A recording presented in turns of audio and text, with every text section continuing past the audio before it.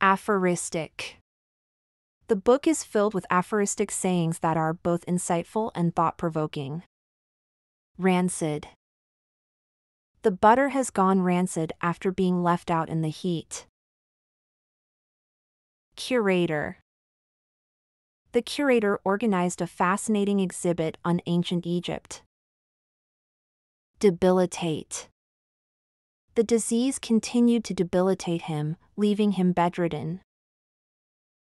Bolster. The company took measures to bolster its financial stability. Equable. She has an equable temperament, rarely getting upset.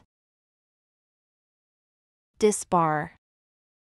The lawyer was disbarred after being found guilty of misconduct. Fabrication. The story was a complete fabrication, with no basis in reality. Asceticism. He embraced asceticism and lived a life of minimalism. and self discipline. Unprepossessing. Despite his unprepossessing appearance, he was a kind and generous man.